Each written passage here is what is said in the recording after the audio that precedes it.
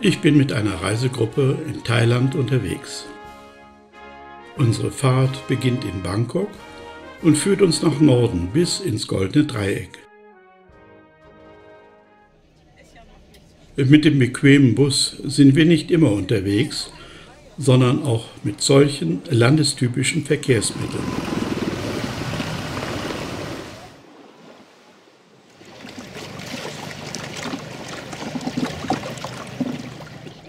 Eine Fülle bekannter Sehenswürdigkeiten liegt auf unserem Weg. In Bangkok sind es der Königspalast mit seinen Tempeln und das Wat Po mit dem riesigen liegenden Buddha. Ein Besuch der schwimmenden Märkte in Dam Nguyen Saduak ist ein Muss für Touristen.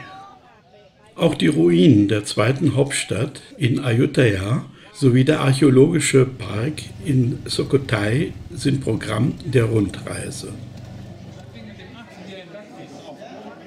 Die Verpflegung ist für europäische Zungen gewöhnungsbedürftig, aber schmackhaft. Dennoch, diese marinierten Insekten, nein, danke.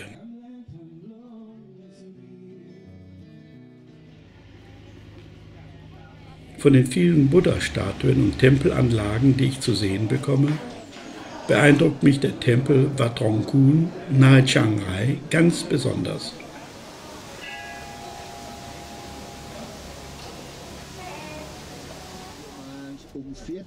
Mit dem Bau dieses Tempels nahe seiner Heimat will der Künstler Shalam Shai ein buddhistisches Denkmal schaffen.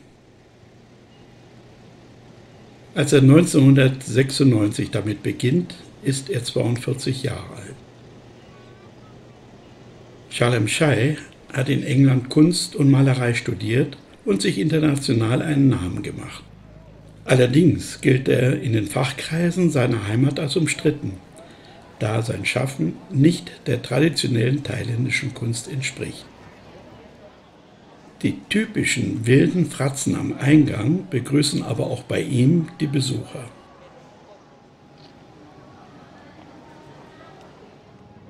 Befremdend ist dagegen, dass bei Charles am Shai Weiß für die Reinheit Buddhas steht, obwohl sie in Thailand traditionell als Farbe der Trauer gilt.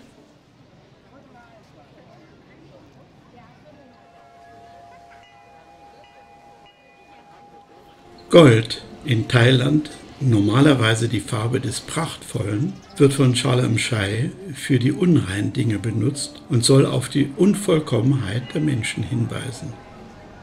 Darum hat er hier ganz gezielt die sanitären Anlagen untergebracht. Mit der Errichtung dieses Tempels möchte Charlem Shai Unsterblichkeit erlangen. Der Tod kann nur meinen Traum beenden, nicht aber mein Projekt, sagt der Künstler, der mit dieser Brücke den Übergang vom Zyklus der Wiedergeburt zum Raume Buddhas symbolisiert. Grimmige Wächter beschützen ihn.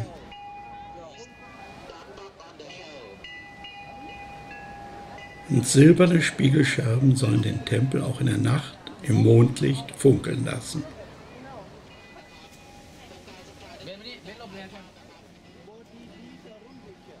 Diese Darstellung der Hölle erinnert mich allerdings sehr an die des Christentums.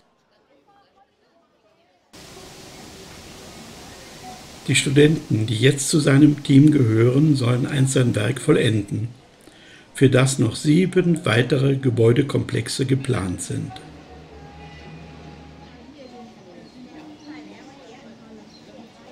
Anfangs gelingt es Shalom Shai, den Bau seines Tempelkunstwerks aus eigenen Mitteln zu finanzieren.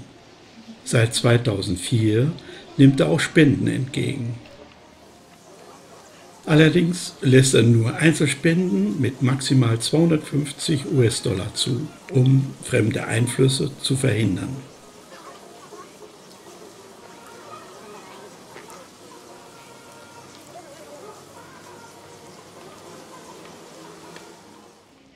Eine zusätzliche Einnahmequelle sind diese Amuletts, die mit Wünschen und Namen versehen von den buddhistischen Besuchern gekauft werden. An der Chatra, dem Sonnenschirm, werden sie dann aufgehängt und sollen Glück bringen.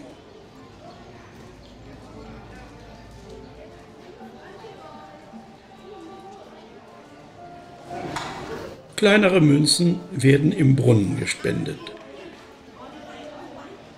Der weiße Pavillon, der sich schützend über ihn wölbt, ist wie alle Gebäude dieser Tempelanlage in vielen Einzelteilen in Kunststeinen gegossen und zusammengefügt.